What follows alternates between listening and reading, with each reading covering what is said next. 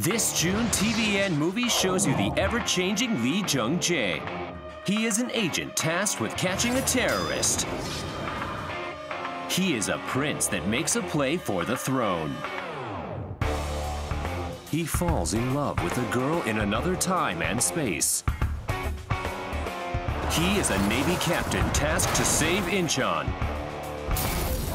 Meet a different Lee Jung Jae every Sunday on TVN movies.